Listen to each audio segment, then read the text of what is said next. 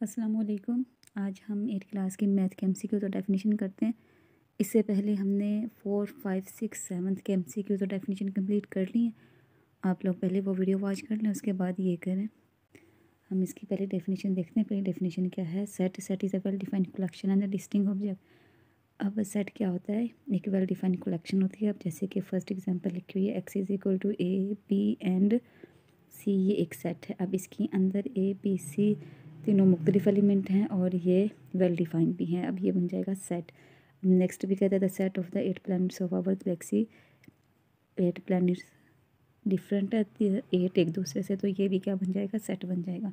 Next definition लिखी हुई elements की। अब ये जो हमने सेट लिया है X is equal to A B and C अब इसके अंदर तीन एलिमेंट हैं, ये डिफरेंट हैं तो ये क्या बना रहे हैं?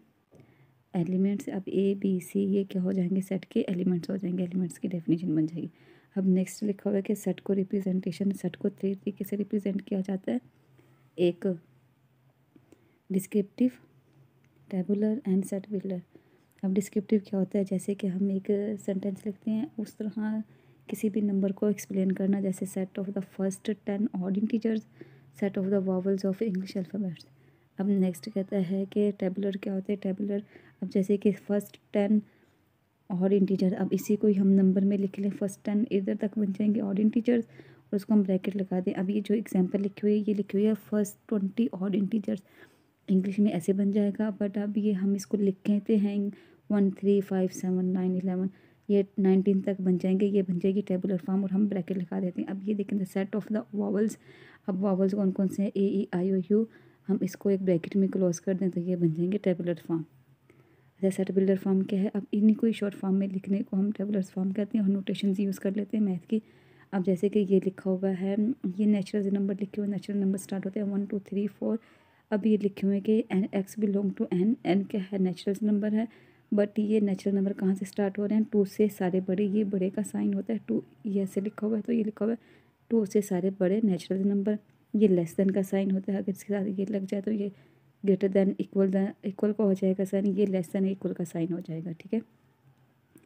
ये थ्री टाइप्स हैं सेट को रिप्रेजेंट करने की। नेक्स्ट देखते हैं। नेक्स्ट लिखी हुई है definition set of the natural number set of natural number start होते हैं वन से set of the whole number start होते हैं ज़ीरो से set of the integer start होते हैं वन अच्छा नेक्स्ट डेफिनेशन देखते हैं। होल नंबर स्टार्ट होते हैं ज़ीरो से, और set of the integer start होते हैं zero zero plus minus one plus minus two, ये सेट ऑफ़ द इंटीजर्स बन जाएँगे। अच्छा सर नेक्स्ट डेफिनेशन लिखिए। रैशनल नंबर्स रैशनल नंबर्स होते हैं जो पी एंड क्यू की फॉर्म में लिखे जाएँ बट जो क्यू है is not is equal to zero होना चाहिए। ये क्या बन जाएगी? रैशनल नंबर्स बन जाएँगे, जैसे वन ओवर टू है वन ओवर थ्री ये सारे रैशनल नंबर्स होते हैं।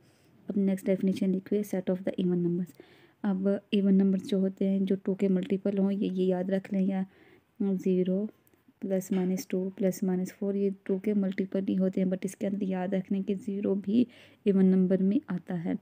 और नंबर्स क्या होते हैं, जिनका सिर्फ़ जो टू पे डिवाइड नहीं हो या जिनका सिर्फ़ वन ही डिवाइज़र हो, ये दो डेफिनेशन बन सकते हैं। अब जैसे कि प्लस माइनस वन, ये और नंबर है, plus minus three, plus minus five, ये सारे के सारे क्या बन जाएँगे और नंबर्स बन जाएँगे। नेक्स्ट करते हैं कि set of the prime numbers. Prime numbers क्या होते हैं, जिसके ओनली टू फैक्टर्स बने। जैसे टू है टू को हम वन और टू से मल्टीप्लाई कर सकते हैं थ्री है थ्री को भी वन और थ्री से मल्टीप्लाई कर सकते हैं, ये टू फैक्टर्स बनते हैं। अब इसमें आप लोगों ने याद रखना है कि टू एक वाहिद इवन प्राइम नंबर है। टू क्या है? इवन प्राइम नंबर है, ये आप लोगों ने इसमें याद रखना है। ठीक है नेक्स्ट डेफिनेशन देखते हैं। नेक्स्ट डेफिनेशन लिखी हुई है इधर सबसेट की। सबसेट क्या होता है? सबसेट का मतलब होता है कि ए के सारे एलिमेंट्स बिलोंग कर जाएँ बी में से। मतलब अगर ए है वन टू थ्री तो बी होना चाहिए। One two three and four मतलब बी कोई बड़ा सेट हो तो उसके अंदर सारे एलिमेंट आ जाएँ ए के तो ये बन जाएगा सब सेट ठीक है? प्रॉपर सेट क्या होता है? प्रॉपर सेट में ये एग्जांपल लिखी हुई है H is equal to two four six and G is equal to two four six अब प्रॉपर सेट ये होता है कि एच के सारे एलिमेंट बी में बिलोंग करें बट एक एलिमेंट ऐसा हो जो एच में नहीं हो।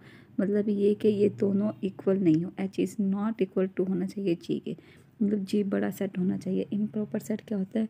इम्प्रॉपर सेट ये है कि दोनों एलिमेंट इक्वल हों मतलब डब्ल्यू इक्वल होना चाहिए एक्स के। इसके सारे एलिमेंट इक्वल होने चाहिए। अब A B C D A B C D ये इक्वल एलिमेंट हैं तो ये बन जाएगा प्रॉपर सेट सुपर सेट या पावर सेट क्या होता है? कि ए कोई भी सेट गिवन हो फाइव सिक्स इसके पॉसिबल सबसेट फाइंड कर लेना, क्या कहलाएगा? सुपर पॉसिबल सबसेट फाइंड करना. अब इसके पॉसिबल सबसेट कैसे फाइंड करते हैं? फाइव आ जाएगा फाइव सिक्स ब्रैकेट लगा के फाइव सिक्स और खुद आ जाएगा फाइव एंड सिक्स अब इसके पॉसिबल सबसेट कितने बन गए? One five six and one two three four अब इसके पॉसिबल सेट बन गए फोर अब इसको फाइंड करने का तरीका ये है कि टू की पावर में टू लिख दो। तो ये टू को टू बार हम मल्टीप्लाई करेंगे तो कितना बन जाएगा फोर तो इसके पॉसिबल सेट कितने बने थे? फोर तो हम ऐसे कैलकुलेट कर सकते हैं। अच्छा यूनिवर्सल सेट की डेफिनेशन याद रख लेना। यूनिवर्सल सेट सबसे बड़ा सेट होता है। उसके अंदर तमाम सब सेट कंटेन कर जाए जैसे कि एक सब सेट है वन टू और दूसरा सब सेट है टू थ्री अब यूनिवर्सल सेट क्या होगा? जो इन दोनों को कंटेन कर लेगा, वो बन जाएगा. नेक्स्ट डेफिनेशन देखते हैं. यूनियन सेट की है और इंटरसेक्शन सेट की यूनियन सेट क्या होता है? यूनियन सेट है यूनियन सेट होता है कि किसी भी सेट को तरतीब के साथ लिख देना यूनियन सेट कहलाता है.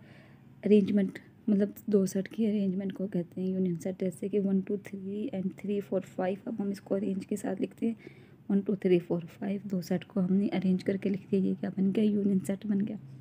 नेक्स्ट करते हैं इंटरसेक्शन इंटरसेक्शन ये होता है कि दो सेट का दो सेट के दरमियान जो कॉमन एलिमेंट्स हों, वो यूनियन इंटरसेक्शन बन जाएगा। जैसे थ्री फोर थ्री फोर ये क्या बन जाएगा? हमारे पास इंटरसेक्शन बन जाएगा। अच्छा नेक्स्ट डेफिनेशन लिखी हुई है डिफरेंस सेट की। The difference set of the two set दो सेट का डिफरेंस हम कैसे फाइंड करेंगे? ये याद रख लेना कि डिफरेंस को इससे न्यूट्रो ज़ाहिर किया जाता है ए माइनस बी ए और बार लगा के बी अब अगर हम फाइंड करते हैं ए माइनस बी तो हमने पहले ए के एलिमेंट लिखने और फिर बी के एलिमेंट लिखने। और हमने क्या चेक करना है? जो बी में है ए में है, वो बी से कैंसिल कर देना अब इधर से देखें कौन सा सिक्स सिक्स कैंसिल हो गया। अब इधर क्या बच गया? टू, थ्री, फोर तो ए वाले एलिमेंट लिखने बी वाले एलिमेंट नहीं लिखने। अगर इधर लिखा हुआ था बी माइनस ए तो हम बी वाले एलिमेंट लिखते ए वाले एलिमेंट ना लिखते। इस तरह हम डिफरेंस फाइंड करते हैं। नेक्स्ट डेफिनेशन देखते हैं। नेक्स्ट डेफिनेशन है डिसजॉइंट सेट की और ओवरलैपिंग सेट की। डिसजॉइंट सेट ये होता है कि अगर दो सेट का इंटरसेक्शन लिया जाए इज़ इक्वल टू फाइव आना चाहिए। ठीक है? और ओवरलैपिंग होता है कि ए बी का इंटरसेक्शन लिया जाए is not equal to five आना चाहिए। इसका इंटरसेक्शन ले तो फाइव है इसका इंटरसेक्शन लें तो फाइव नहीं है, कोई ना कोई एलिमेंट कॉमन आए। अब जैसे कि इसकी एग्जांपल लिखी हुई है ए ए है फोर फाइव और बी है फोर सिक्स सेवन एट अब इन दोनों में देखें, कोई भी एलिमेंट कॉमन नहीं है फाइव आ जाएगा। अब नेक्स्ट में देखते हैं one two three four one अब इसमें देखें फोर इधर है फोर इधर। अब एक एलिमेंट इसमें कॉमन आ गया तो ये क्या बन जाएगा? हमारे पास ओवरलैपिंग सेट बन जाएगा। हम नेक्स्ट डेफिनेशन करते हैं, इधर लिखा हुआ कम्प्लीमेंट अगर किसी भी सेट का कम्प्लीमेंट फाइंड करना हो तो यूनिवर्सल सेट में से उस सेट को माइनस कर देना ठीक है? अब हमने यू माइनस ए कर दिया। ए का कम्प्लीमेंट फाइंड करना था, अगर बी का फाइंड करना हो तो यू माइनस बी कर देंगे। बी इधर क्या होगा? लार्जेस्ट सेट होगा। अब जैसे ए का कम्प्लीमेंट फाइंड किया हुआ है यूनिवर्सल सेट किए हुए ना one two three four five six one two three अब ये देखिए one two three cancel out हो गई है तो इसका कम्प्लीमेंट आ जाएगा फोर फाइव सिक्स तो इसका कम्प्लीमेंट आ गया फोर फाइव सिक्स अच्छा ये जो विन डायग्राम है, आप लोगों ने इसके जस्ट फार्मूला याद कर लेनी है, वो नेक्स्ट एम सी क्यूज़ में आएँगे, हम वो करते हैं।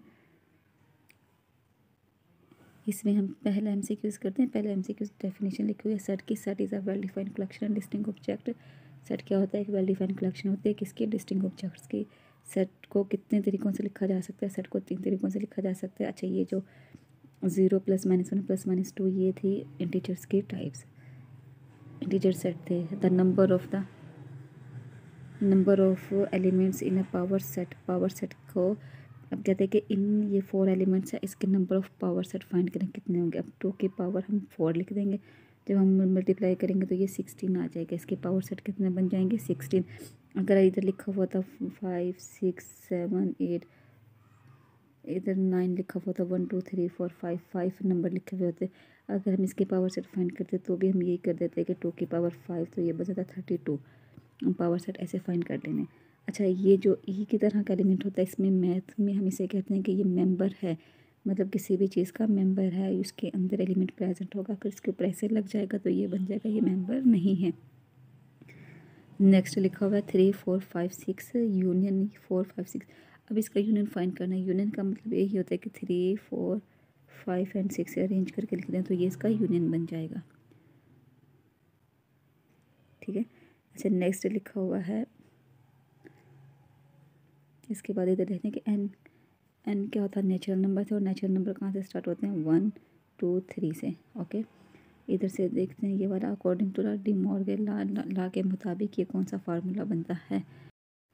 अच्छा इस लास्ट टाइम से में पूछ रहा है कि डिस्ट्रीब्यूटिव प्रॉपर्टी कौन सी होती है? अब हमने इसके अंदर लिखने डिस्ट्रीब्यूटिव प्रॉपर्टी यूनियन और इंटरसेक्शन के लिहाज से। हमने इसके अंदर क्या लिखना है? यूनियन ओवर इंटरसेक्शन के लिहाज से डिस्ट्रीब्यूटिव प्रॉपर्टी लिखनी है।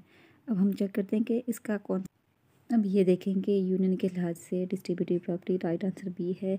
A union A union into B intersection C is equal to है।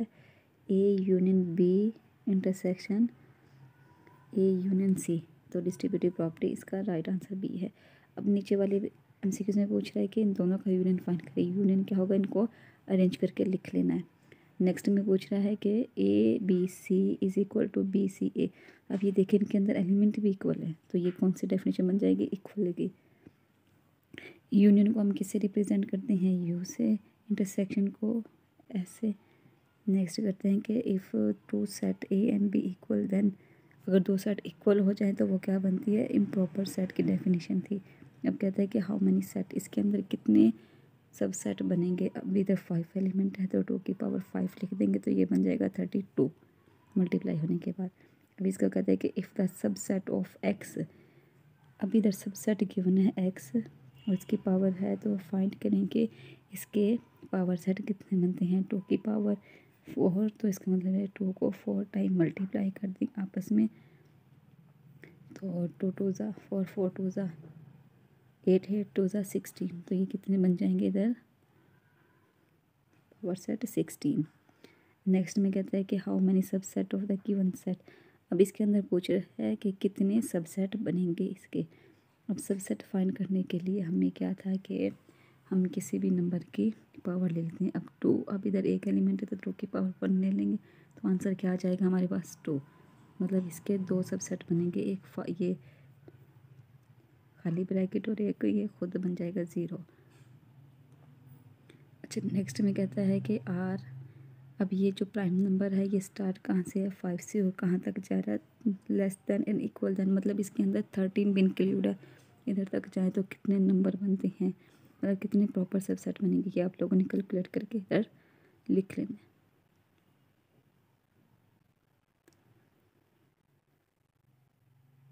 नेक्स्ट डेफिनेशन करते हैं। इंटरसेक्शन को रिप्रेजेंट किया जाता है इससे, ठीक है? नेक्स्ट पूछ रहा है कि one two three four five ये कौन सी फॉर्म है? सेट की सेट की तीन फॉर्म से descriptive tabular and set builder तो ये है टेबुलर अब वन टू थ्री फोर अब नेचुरल नंबर कहाँ से स्टार्ट होते हैं? वन से तो ये क्या बन जाएगा? नेचुरल नंबर्स के। इंटी होल नंबर्स कहाँ से स्टार्ट होते हैं? ज़ीरो से तो ये बन जाएगी होल नंबर्स की डेफिनेशन अब नेक्स्ट में कहता है कि one one belong to next में हमसे पूछ रहा है कि अगर A is equal to one two three and B is equal to one two three four five five तक है तो ए सबसेट होगा बी का, क्योंकि जो छोटा एलिमेंट है, अगर बड़े एलिमेंट में से बिलोंग कर जाए मतलब ए के तमाम एलिमेंट इसमें से बिलोंग कर गए तो ए एलिमेंट ए सबसेट होगा बी का बी सबसेट नहीं होगा ए का, ठीक है? तो राइट आंसर क्या होगा हमारे पास इधर? ए नेक्स्ट देखते हैं। एम अब इधर पूछ रहा है कि M is equal to zero the power set of the M is power set M के कौन कौन से बनेंगे? पावर सेट एम के बनेंगे एक फाइव और एक ए ज़ीरो खुद। तो दो इसके पावर सेट बनेंगे। राइट आंसर इसका बी है, ये याद रख लेना। The empty set using the symbol empty set को हम कितने तरीक़ों से लिख सकते हैं? इम्पिटी सेट को एक ऐसे भी लिख सकते हैं और फाइव भी लिख सकते हैं। इम्पिटी सेट को दो तरीक़ों से लिखा जा सकता है। नेक्स्ट कहता है कि ए अगर कोई सेट हो तो इसको क्या कहेंगे? ए के अंदर एक ही एलिमेंट है तो इसको हम कहेंगे सिंगलटन सेट ये फ़र्स्ट चैप्टर एट क्लास का कंप्लीट हो गया। इन ताला कल हम चैप्टर नंबर टू या थ्री को हम कंप्लीट करेंगे। अब ज़्यादा से ज़्यादा चैप्टर कंप्लीट चैप्टर सॉल्व करके हम जल्दी से जल्दी एट क्लास को कंप्लीट करते हैं। उसके बाद बेसिक बेसिक से जो M C Qs P S C के एग्ज़ाम में बार बार पूछे जाते हैं, वो स्टार्ट करते हैं। जैसे अलजबरा के हो गए और ब्रैकेट को सॉल्व करने वाले सिंपल सिंपल से क्वेश्चन है ना इन ताला वो फिर स्टार्ट करेंगे। उसके बाद, इस्लामियात की भी सीरीज़ स्टार्ट करते हैं, इस्लामियात उर्दू की भी।